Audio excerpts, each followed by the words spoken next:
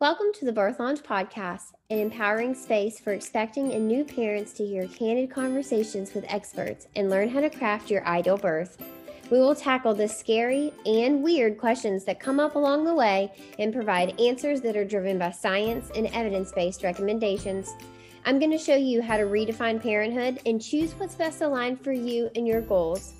With 10 years of experience in family education and a master's degree in human development and family studies, I'm ready to help you navigate pregnancy and explore your birth options to free yourself of fear surrounding childbirth. My goal is to help you have an informed and confident labor experience, plus an empowered and joyous postpartum. Hey y'all, before we get started with this week's episode, I wanted to remind you that the doors to the Birth Lounge are officially open.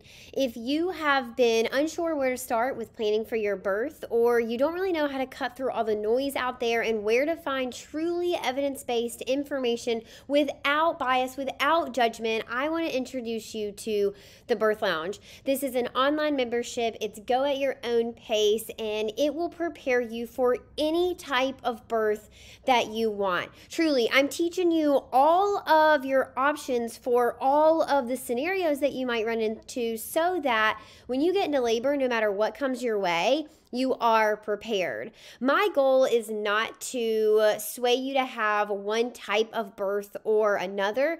Instead, I want to help you avoid iatrogenic birth trauma, meaning the birth trauma that happens to us because of the system or because of something that happens in labor that is otherwise avoidable. I want to help you avoid that. So, I'm truly going to teach you about spontaneous labor, unmedicated labor, medicated labor, so epidural epidural, IV pain relief, natural pain relief, non pharmacological pain relief. I'm also going to talk to you about elective inductions, medical inductions, scheduled C sections, and unplanned C sections. Again, I want to leave no stone left unturned so that when you actually get into labor, you're not caught off guard at anything that comes your way. Instead, you meet with the twist and the turns of labor. You meet that with confidence and feeling informed about your options so that you know exactly where to go next in your labor to keep you on track to reaching your birth goals and avoiding birth trauma. When you join the Birth Lounge, you don't need any other childbirth education prep. It's going to talk to you about feeding your baby, preparing your partner, again, those pain relief options. So, whether that's medical pain relief or non pharmacological pain relief, birthing positions, as well as labor positions, plus so much more. Under everything that I teach you, you will be able to find the science and the data that back these things up so that you can take a look at it yourself. You don't have to take my word for it. I'm linking all of it, no gatekeeping here. I want you to be as informed and confident as possible going into your birth so that you can have an amazing labor and birth experience. You can find that at thebirthlounge.com backslash join. Dr. Rankins, welcome to the show. Thank you so much for having me. I'm excited to be here. I'm very, very excited to have you. I was just sharing with you that I followed you for a long time. You're someone I look up to. You are an obstetrician that truly believes in consent. You really, really value the relationship that you have with your patients and your, your clients. You are always talking about patient autonomy and having a really collaborative and receptive relationship between patient and provider. And that is our whole MO here at Tranquility by Hee and the Birth Lounge. And so this is a conversation that I think is long overdue. I wanted to have a conversation with an obstetrician about the pain relief mm-hmm. options that we have in hospital birth really transparently because I think a lot of women and birthers don't get that unfortunately it's very hard to find sure. a transparent conversation where we can talk about both the pros and the cons but also the risk and the benefits and that's what people mm-hmm. truly need to be able to make those informed choices about their labor so that they can feel good about their birth so absolutely Thanks for being here. This is going to be a great conversation. Before we dive in, I want to kind of set the stage for our listeners. There are three main categories that we will cover today. We're going to talk about an epidural. That's what most people are familiar with. Then we're going to talk about IV medications. And then we're going to go to a medication that you actually inhale, and it's called nitrous oxide. It is not available everywhere, but we are seeing it start to be available in more places. And so I'd like to cover it if it's not available in your in your area talk to your doctor about it talk to your hospitals about it and you know eventually it will make its way there. So dr rankins let's mm. start with maybe let's start with that fear of pain. Let's talk about the mm-hmm. pain in labor. Fear makes that Ooh, pain so much worse right? Yeah it is a lot of it is mental, but there is definitely some physical discomfort. As an obstetrician, what do you say to people when they say, Dr. Rankins, I am just so scared of the pain in labor? Yeah. Like, how am I going to do this?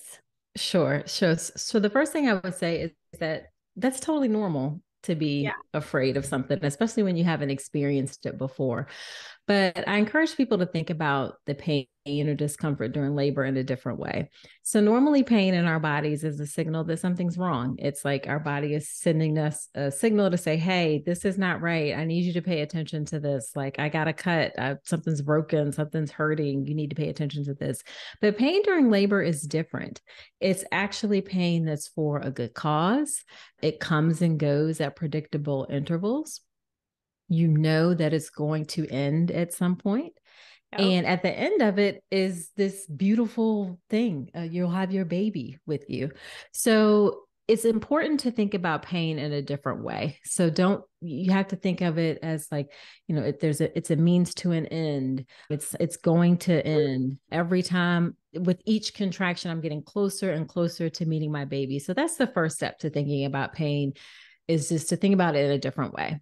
And then the way to conquer that fear, which again is totally normal, it's totally normal to have a fear yeah. of something you don't haven't experienced before, is to learn your options, which is what we're talking about today.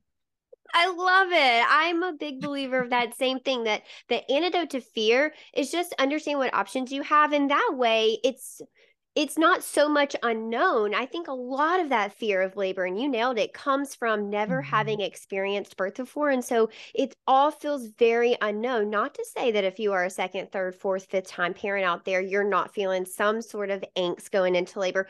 There will always be a piece of labor that is unpredictable or unknown. But the more that you do it, the more comfortable you get. But for those people who don't want to do that pain and they say, okay, I know for a fact I'm an epidural girly. What do we need to know about epidurals? I guess what what would epidural 101 little crash course cover? Sure. So the first thing that I would say is that even if you want an epidural, you still need to have some tools in your toolbox to manage pain yes. without medication because you're not going to get an epidural with the first contraction. so an epidural um, takes time. So you're going to be in labor for some time before you before you get an epidural. So definitely learn your options for managing pain without medication. Just real briefly, things like movement, hydrotherapy or water are good options. Massage those are all great things but know your options for that. And then the other things that i would say about an epidural there are several important things to know. So number one it takes time Okay. So it's not like I've had someone, bless her heart, call from the car and she's like, Can y'all have my epidural ready when I get to the hospital? and it does not work like that. It takes 30 to 45 minutes, about roughly, to get things together. The anesthesiologist has to be there. Sometimes we have to do blood work, you have to get an IV. So it does take some time to get an epidural. So that's number one. Number two is that epidurals aren't always perfect. For some people, they may be one sided. You'll get relief on one side more than another for some for some people they don't work at all and they need to be replaced. And i think people aren't prepared for the possibility that the epidural is not going to necessarily work exactly like they want it to work. So most of them work fine. I don't want you to go into it thinking that it's not going to work because most of them do work well. But know that it may be some tweaking and adjusting before you're able to get that epidural to to um, feeling where you want it to feel that's also a good reason to have those mm-hmm. medicated coping skills that you talked about earlier is if you have an epidural sure. that doesn't work 100% or exactly what you had expected you can you can mm-hmm. pair them right you have the epidural it gives you let's call it 90% Absolutely. relief you can make up that other yep. 10 with your breathing strategies your yep. mindset work yeah. I love that. Yeah, absolutely. Yeah, definitely. Definitely. Definitely. Also, an epidural, you really actually don't want it to be where like you're completely numb, where you can't feel anything. It's actually best if you're still able to feel something so you know where to push when the time comes. If you're completely dead numb and can't feel anything, it can be challenging to figure out the right way to push. So you don't necessarily want it to like want to not feel anything at all. It's actually good if you can feel something. The best epidurals are when you aren't feeling the contractions, but you still have some movement in your legs and you can still feel like that pelvic pressure sensation to have a focal point to push. And we're getting better at epidural so that people aren't quite so numb. But that's another thing in that I would say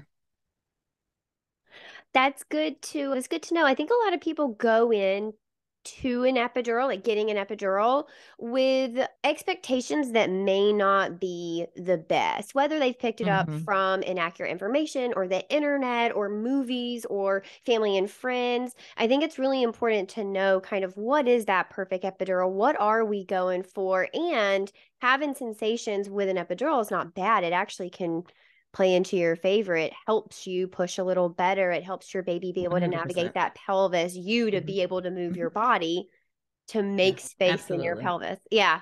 Yeah. Maybe not necessarily push as long either. And yeah. then there's some other things about an epidural that I think folks should know. One is that they actually don't slow down your labor by very much. Okay. Studies show that an epidural may slow down your labor by a half hour or so. So, not a terribly long amount of time. So, don't worry that an epidural is going to like significantly slow down your labor and it's not going to stop your labor. It's not going to cause you to have a cesarean birth. They um, don't increase the risk of cesarean birth. Again, they may slow down your labor a bit, but not substantially so. And then another thing is that you should really be able to get an epidural whenever you want. There shouldn't be any, you have to be a certain number of centimeters dilated in order to get an epidural. An epidural should really be upon maternal request. So, upon the request of the person having the baby, should make the decision about when they want the epidural. Now, of course, there's like risk and benefits and all of those kinds of things. And some people actually don't like that sensation of not being able to feel their legs. Yep. It kind of freaks them out a little bit. So if you're worried about that, maybe you do want to wait longer to get an epidural, but you don't have to be a certain number of centimeters dilated in order to get an epidural. You should be able to get it whenever you want.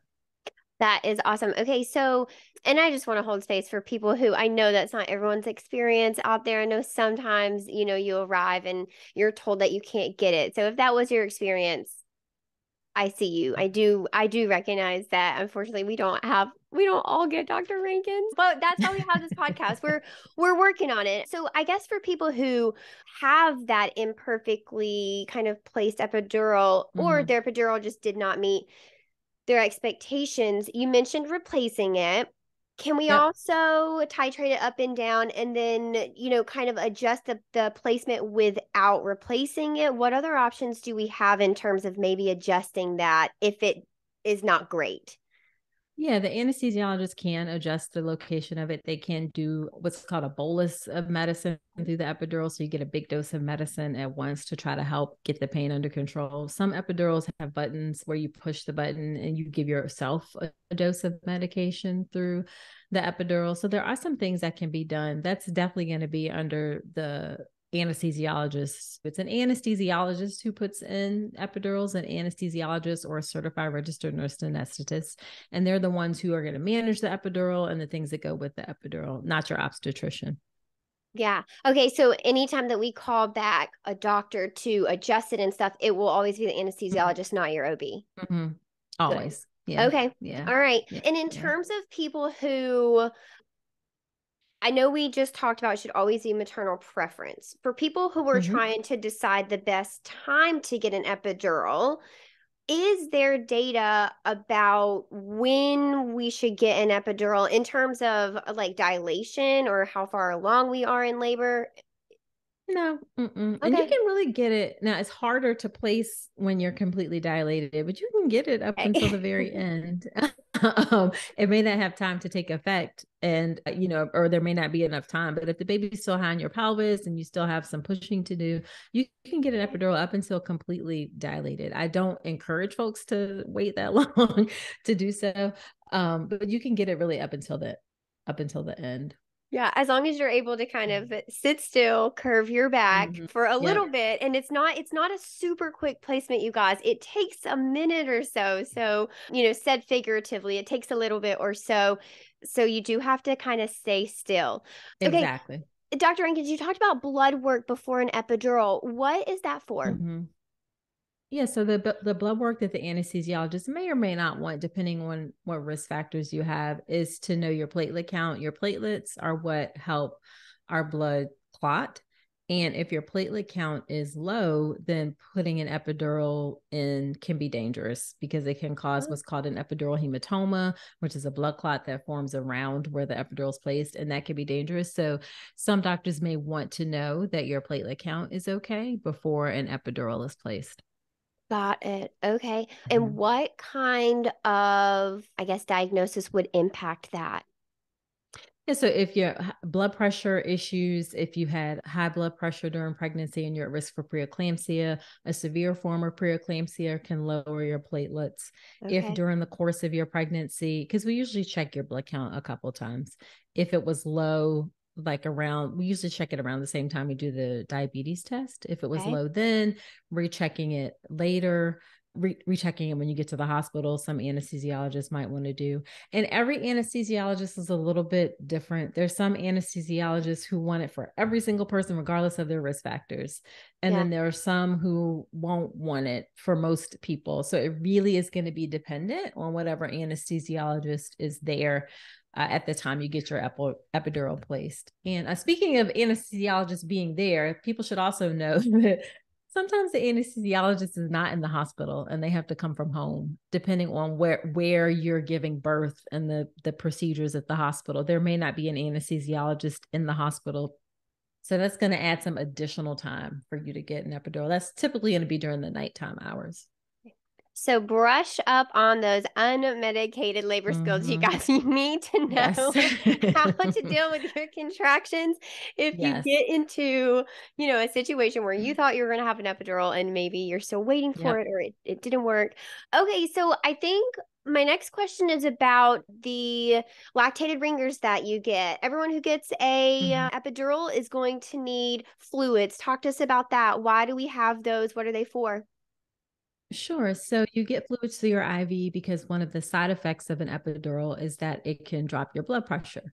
And when you have and I should say, blood, the epidural mostly acts. It doesn't like the medications don't cross the placenta. They mo- mostly act like around the epidural space in, in mom's body. They don't really cross the placenta. So that's one of the benefits of an epidural. But those medicines can drop your blood pressure. So we give you a bunch of fluids ahead of time to help keep your blood pressure up so that it if it does drop, that it doesn't cause any significant issues or concerns for either you or for the baby. Mm, hmm Good. Okay. All right. All right. So, in terms of risk, a couple things that come mm-hmm. to my mind that our team has kind of seen is a sore back just seeing that not i'm not talking chronic back pain that's not what i'm saying but just mm-hmm. a sore back at the the site of mm-hmm. you know the where your epidural was a couple days after birth sometimes yep. people develop a headache sometimes it makes yep. you a little itchy mm-hmm. you know nausea but who's to say that's from the epidural versus like being in transition being in labor what other things right. do we need to think about in terms of risk when it comes to epidurals because i know a lot of people do hold the fear of like oh no we're going into my back, we're going into a very sensitive place in our body. Sure. There has to be risk associated with it. So let's talk about those. Yeah. So, like you said, the common things or risk or side effects are nausea, itching, shivering is another one oh. that people experience. Uh, but there are some risk, and honestly, these are better. The anesthesiologist is going to be the one to explain the risk specifically of the procedure because they're the ones who place it. But in general, the risks are low. There's a risk of injuring the the spine potentially because you know you're near that area the spinal headache like you talked about or the epidural headache is another one that's a risk the blood pressure dropping is a risk it'll also maybe in the short term decrease your ability or success with breastfeeding, oh, that's, that's right. only for a short term mm, within the first few days after birth. So that's not a significant factor or anything, but that is a possibility. But there's uh, potential if you have the the risk are higher if you have more complicated anatomy. So if you had like surgery done on your spine, or yeah, if your spine is curved in some way, those are going to increase the risk of that needle hitting a place that they don't want the epidural needle to hit. So those are the biggest risks. The vast majority of people though have an epidural without complications, but everything has risk in, involved and as long as you know the risk then you can make an informed decision about what you want to do. Yeah, every choice has risk. It's just it's what risk yes, are you, you know, exactly. comfortable with. So the breastfeeding interference mainly comes from the extra fluids that we get, and it just makes the breast kind of engorged. Is that correct, or does the narcotic? You know, I actually. No, actually, I'm not sure. I, am not sure what the theory is. I mean, that sounds reasonable about why it may be a possibility, but I'm not sure what the exact mechanism is. Okay. And then that post-dural yeah. headache, how would mm-hmm. someone know what is normal versus what to call your doctor with, or anytime you have a headache in those first few days postpartum, you should call your doctor? Yeah, most of the time it's going to show up while you're still in the hospital. Got so it. what we'll do is we'll have the anesthesiologist come see you, evaluate you. It typically has some positional changes, like the headache changes with whether you're laying down or sitting up because the fluid in your spinal cord moves and it can affect the headache. So the anesthesiologist will do an evaluation and see if they think that it is a spinal related headache or an epidural related headache. Okay. All right. Okay. My final question, I think, here is there mm-hmm. are different types of epidural. So we have an epidural, we have a spinal, and then we have a CSE, a combined spinal epidural. What are the difference uh-huh. between these and when would we use each of them? Sure. So a spinal is one shot. So it's you don't have a catheter that stays in. So with an epidural, there's a catheter that's placed in the epidural space, and the dura is like the sac that covers the spine. So the epidural is a catheter placed in the epidural space, and it's left there for the entirety of your labor. So you can continue to get pain medication during your labor. That's another thing people should know. It doesn't run out. Like an epidural can't run out. It can last for okay. days actually. So that epidural stays there. The catheter is taped to your back. It's connected to the epidural pump that, you know, hangs off your IV pole. So that's an epidural whereas a spinal goes in the a different space and that is a one shot dose of medicine and it lasts for two to three hours roughly. Okay. so it's a one shot dose of medicine that lasts for two to three hours and then it wears off. So that's something that we typically do for a planned cesarean birth. When we don't need to leave the epidural in place then a spinal is going to be better because it's just one shot eh, the medicine wears off and then you're done. Got it. Now the combined spinal epidural is when they start with the single shot to get people comfortable right away. And then they follow it with the epidural catheter after that. So they do both of those in order to get people like immediate relief because the spinal works very pretty quickly to relieve pain. And then after that, they do the epidural. Now, it depends on the anesthesiologist uh, about when they will do that, or it depends on like the course of the labor. Like if it's someone who's like really struggling mm-hmm. with the contractions, then maybe a CSE might be good because you're going to get better immediate relief. A regular epidural is going to take 30 minutes to set up, 20 to 30 minutes before you start feeling some relief. Whereas with the CSE, you'll feel it fairly quickly or with the spinal. So it really depends on the anesthesiologist as to whether or not that's what they do. Cool. Wow, that was a great explanation. All right. That was, I feel so educated on epidurals. Now, is there anything mm-hmm. else we haven't covered? Yeah. Actually, a few things. So, okay. one, you have to have an IV when you have an epidural. We didn't talk about that. So, you have yep. to have an IV and be connected to an IV. Typically, you're going to, you're, it's going to be, it's going to be more challenging to change into different positions, but you can still change into different positions. So, don't think that you're going to necessarily be like, you shouldn't be stuck in the same position. Your nurse should be helping you to change and move. But yes, it can be more challenging. You can still, even though with an epidural, do hands and knees. You can, you know, be on your side. So those things are a possibility with an epidural still. Okay. Nice. Now with an epidural, you cannot feel it, it, it numbs everything from a certain level down. One of the things that you can no longer feel is the sensation to empty your bladder. So we do have to periodically empty your bladder with a catheter. You shouldn't feel it, but you will have to get your bladder emptied with a, a catheter. And then also, you typically are going to be on continuous monitoring when you hmm. have an epidural and not intermittent monitoring. We typically do continuous monitoring. And what else? I think, oh, the final thing is that epidurals can cause a, the, I talked about briefly how it can cause a drop in mom's blood pressure. That can sometimes lead to a drop in the baby's heart rate as well. And so, right after the epidural, if mom's blood pressure is low and the baby's heart rate drops, there's some physicians who will move a little bit quicker to a C section when actually what we need to do, because the baby's heart rate is dropping, but what we need to do is fix the mother's blood pressure and mm. then that will fix the baby's heart rate. so, sometimes there, there's some adjustment and things that need to be done if the blood pressure lowers in order to get the blood pressure back up and get the heart rate better. And would that be like a medication fix or like a mm-hmm. positional yeah, either, change? Yeah, yes. Yeah, both.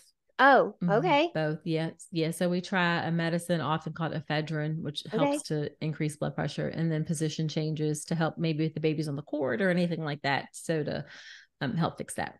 Okay. And as for the mm-hmm. catheter, is there a benefit to either one, either placing a catheter and leaving it or mm-hmm. doing that intermittent? I assume if you leave it, it's much harder to move around if your goal is to be mo- mobile ish in the bed with an epidural. It's actually not because it has a long okay. tube. It's still there's plenty of motion for it, but it does increase okay. the risk of urinary tract infections. So we, if you leave the catheter in place, oh, so we try to do inter. Mm-hmm, so we try to do just catheter, take it out, catheter, take it out. Mm-hmm. Wow, that surprises me. I think my brain would think the more that we went in and out, the higher the risk of infections. Yeah. Because of cervical yes. checks, I think. Mm-hmm. it's like almost the opposite, right? Yes. Okay. Yes, yes, but it's actually not true. Actually, higher risk of infection by leaving a catheter in. Okay, cool. And how often are mm-hmm. we emptying someone's bladder? Yeah, every four ish hours or so. Okay, cool. And I yeah. know I already mm-hmm. said my final question, but eating and drinking with an epidural, what's the science say about this? Um, you know, this is a, a controversial topic un, probably unnecessarily so. Yeah. uh, there's not a there's not a lot of of specific data that I'm aware of about eating and drinking with an epidural specifically. Eating and drinking during labor is more related to your risk of having complications during birth. So really, if you're low risk, you should be able to eat and drink during. Well, I should take that back everyone should be able to drink during labor. Like yeah. no one should ever be told that they can't have anything during labor or just ice chips or anything like that. Like everyone should be able to drink regardless of your risk. And then low risk people should also be able to eat. Most people don't want to eat when they're in the throat, like the active part of labor. Most people aren't actually terribly hungry. But I don't use epidural as a reason to say eat or don't eat. And okay. then in general, I say don't eat anything that you don't feel comfortable that don't eat anything that would be like terrible if it came back up because yeah, like vomiting is really common in labor. Yeah. you are probably going to see that food again. Yes. Oh my goodness. Okay that really was my final question about epidurals. Is there mm-hmm. anything else before we move on to iv stuff? No i don't think so Cool. All right. So mm-hmm. IV medications. In my brain, I'm thinking Dilaudid, morphine, Demerol, mm-hmm. Stadol, Nubain. Obviously, they're through an IV, so you need an IV. Um, mm-hmm. what else do we need to know about IV medications? Yeah, so it's really dependent on the hospital what they have available okay. and, and what the practitioners are comfortable with. Like right for like example, for example, at our hospital right now, we don't have Stadol available. We've used that before. We don't have Nubain available. So it really is dependent on the hospital wow. and what is available.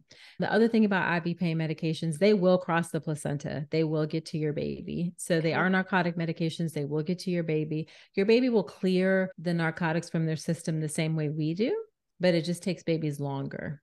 So, for that reason, IV narcotics during uh, labor should be limited. They should be limited to maybe a couple of doses, maybe maybe three doses, and then once you're past a certain number of centimeters dilated, usually I say about six or so, you shouldn't get it anymore, because when the baby comes out, the baby may have some trouble breathing. Yeah, because that that's one of the distress. biggest. Mm-hmm, yeah, that's one of the yeah. biggest side effects of narcotics. So it's not something that you can continue to get over and over again. It really should be limited.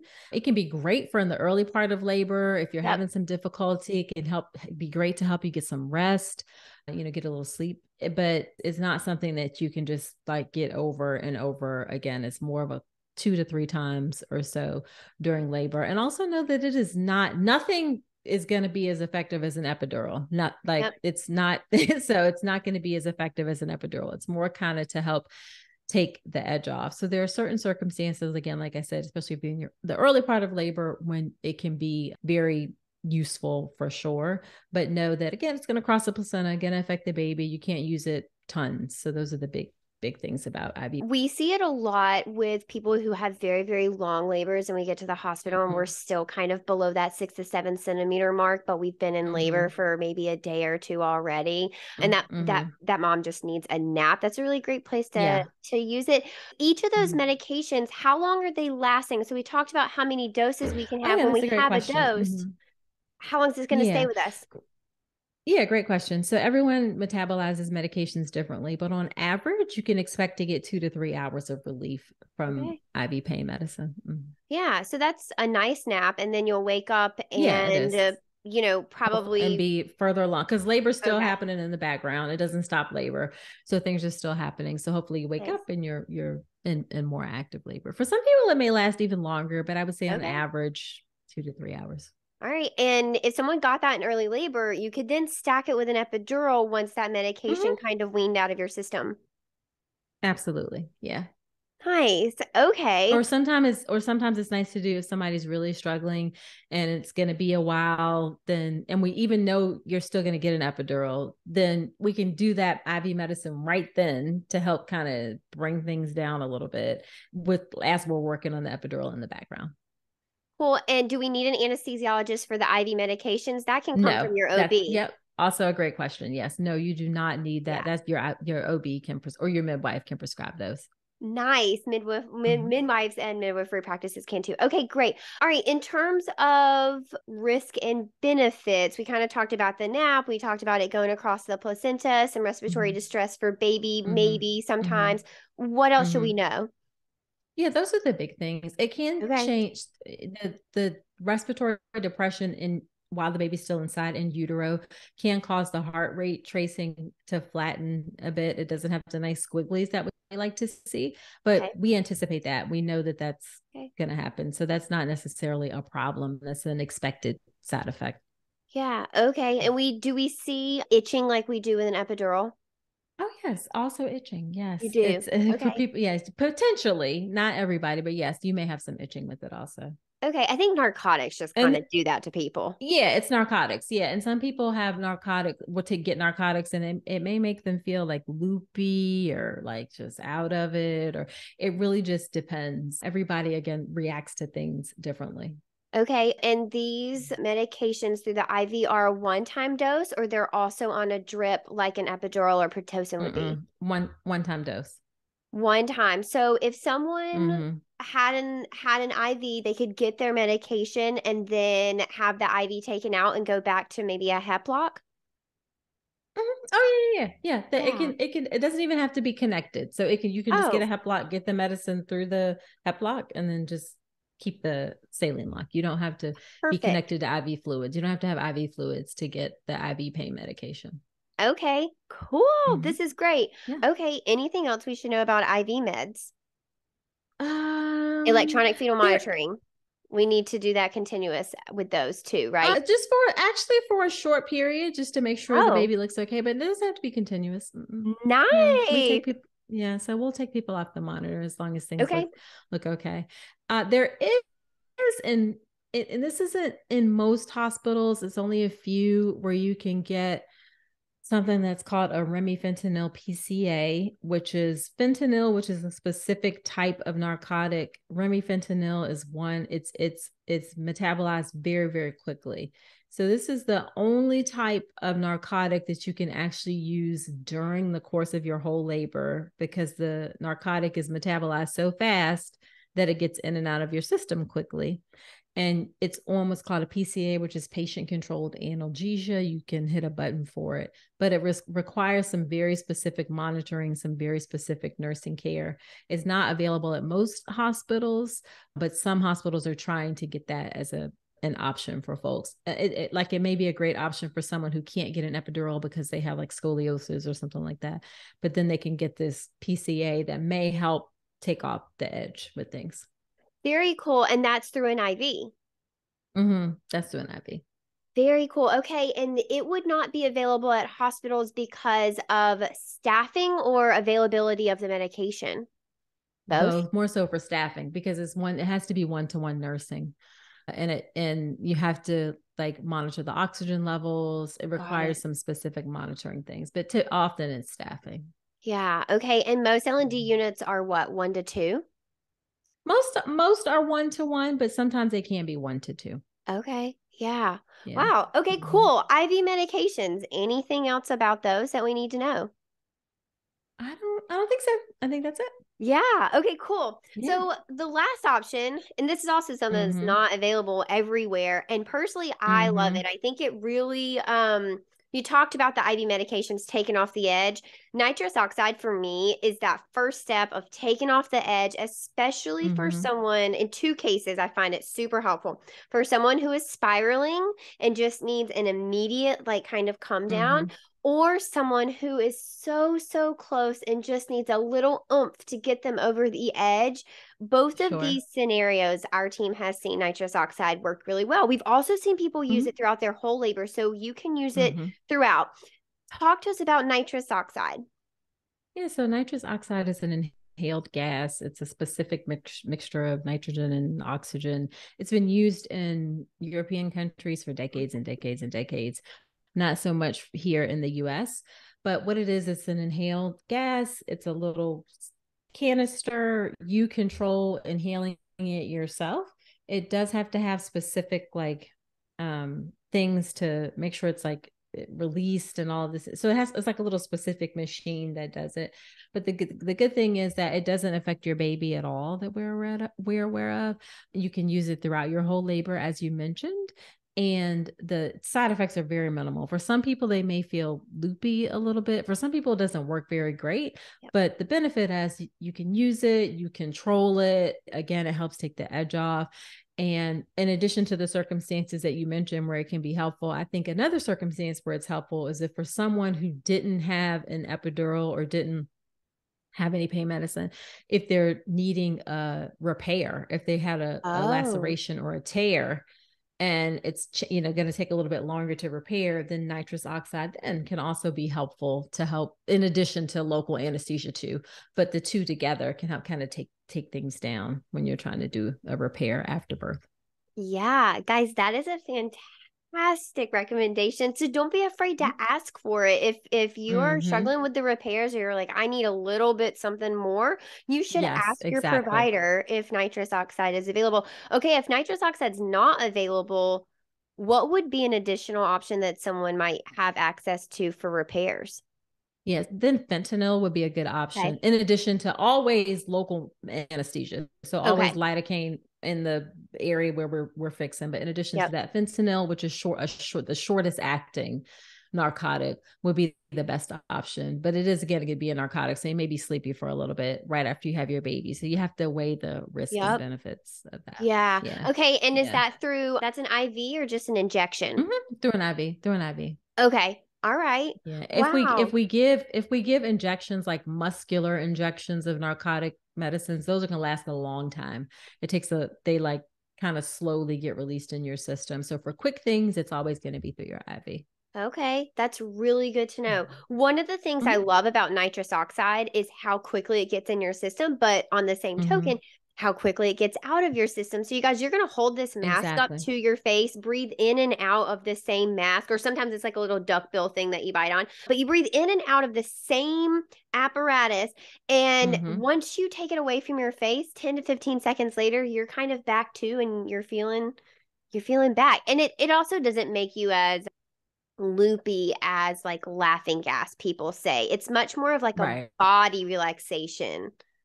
It, definitely, definitely. Yeah. And then the other things are that because you're not quite so whatever, you can still move with it. You can still be mobile, yeah. and it does not require continuous monitoring. So you don't, you still don't have to be on the monitor either for nitrous oxide. That's nice. What about being off of the bed? Can you be on a birth ball? Can you use it in the tub? Can you be standing mm-hmm. up? Correct. Yes, all of those nice. things. Yep. Yep. Yep. Yep. Yep. Cool. Okay, I love this. Anything else about nitrous oxide that we need to know? I don't think so. Other than we talked about how it's not always available at yeah. every hospital. That's probably the biggest rate limiting step. Yeah. yeah. Yeah, yeah. I'm very hopeful that it becomes um, kind of standard across hospitals, but um, I know we may have a little bit before we get there. Yeah, cool. Medicine takes time, so it it does. Unfortunately, yeah. hopefully, by the time my great great grandkids come, nitrous oxide might be in all the hospitals. Oh my goodness. Dr. Rankins, this has been really, really fantastic. Were there any other pain relief options, medical pain relief options that we didn't mm-hmm. mention that people might want to ask their provider about? No, I don't think so. I think those are. Oh, you know, there's one more that's not, and I don't know much about this. It, it's not medical per se, a TENS machine. Oh, uh, yeah. I have seen, yeah, yeah, yeah. I have seen. I know this used more in Canada, someplace in Europe, but a TENS machine is another option for using to, for helping relief with pain. You have to have like place the things in specific places. I don't know a ton about it, but that's another option too. I love a good TENS unit. Okay, you're an obstetrician that knows a lot about unmedicated labor. So give us your top 3 mm-hmm. unmedicated uh, labor coping strategies. What do you love to suggest to patients? Yeah, people are gonna hate this because they're gonna be like, "Are you crazy?" but the biggest, the the the the most important one is your breath. Oh, uh, it, yes, because when you are consciously focusing on your breathing and slowing it down, and it it it forces you to slow things down. This is something that we can do even when we're in our lives and we're upset. A slow count to five in, slow count to five out. It's just going to really help. So, breathing is really, really, really important. And a lot of that, again, is like, as like you were alluding to, is connecting to your mindset and just how you're thinking about and approaching in your mind that that this is one you're going to get through one contraction get through that one rest and you're going to get through the next contraction get through that one. Take it one contraction at a time one contraction at a time. That's when people say they get into sort of like labor land and they didn't realize yep. like how long it's been and that's because you're focusing on i'm going to get through this contraction then the next one then the next one so, breathing, focusing on one contraction at a time, and then movement can be so helpful, whether it's lunges, whether it's the birthing ball, whether it's squatting, whether it's leaning, movement would be another great option as well. And then I'll throw in one last one, of course, water. So, hydrotherapy, yeah. shower, or bathtub can help too. Yeah. Oh my goodness, I love that. All right, you guys. I hope we're all walking away. Oh, and the, uh, wait, I'm. I gotta say. No, no, yeah, thing. go for it a doula is going to be exceptionally yeah. helpful. a, yeah. a well-trained doula will be very helpful to help you get through with unmedicated birth for sure. Yeah, absolutely. Yeah. Or medicated or planned C-section. You guys doulas very- will help you just stay educated mm-hmm. throughout the whole way. Yeah. Yep. Yep, absolutely. Yeah. This is amazing. Okay, uh, this has been so much fun. I know uh, people are walking away with so much more information than they came to the conversation with. You've got some really amazing resources online. Where can people connect with you and where can they find those resources to continue to learn from you? Sure. So if you want a summary of all of these pain med- management options that we talked about, I have a guide that you can get. You can grab it on my website. It's drnicolerankins.com forward slash pain. That should get it for you. And on my website, I have tons of res- other free resources and things like what to pack for the hospital, prenatal test, all of that stuff. So that's drnicolerankins.com. Also, check out my podcast, all about pregnancy and birth. That is my I my baby. I love my podcast where you can well, I interview folks, we do birth stories, I talk about topics. So all about pregnancy and birth and all the major podcast platforms. We're almost at two million downloads, which is crazy to believe. And then yes, and then social media media. My favorite platform is Instagram. So I'm on Instagram. I'm actually everywhere at Dr. Nicole Rankins, but follow me on Instagram there. I'm also on TikTok too, but not as much, but Instagram for sure at Dr. Nicole Rankins, where you can get more information from me there.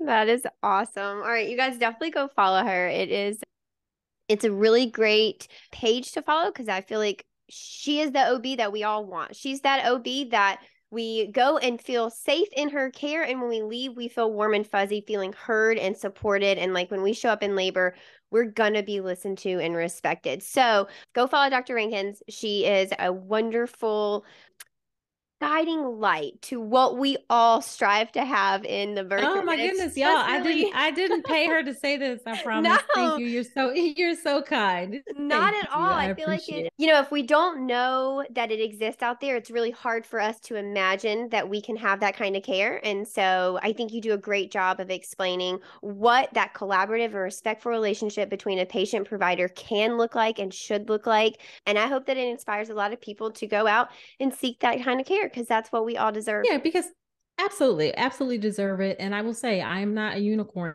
in that regard. There are other OBs who practice similarly to me. You just have to find them. And yeah. I think that's what we're both about is, you know, helping yeah. people know the questions and things to ask so they can find that that provider who's really um, passionate about about serving them so yeah don't yeah. be afraid to dig you guys and go back and listen to past episodes with obgyns on the birth lounge podcast i have a I guess I prioritize trying to highlight OBs that do care consensually for their their patients and really value that um, relationship with their patients and clients. Yep. So, all right, you guys, until next time, bye. Thanks for joining us. I'll see you next time on the Birth Lounge podcast. Until then, head over to Instagram and find us at Tranquility by HeHe and give us a follow. You can also check us out at thebirthlounge.com.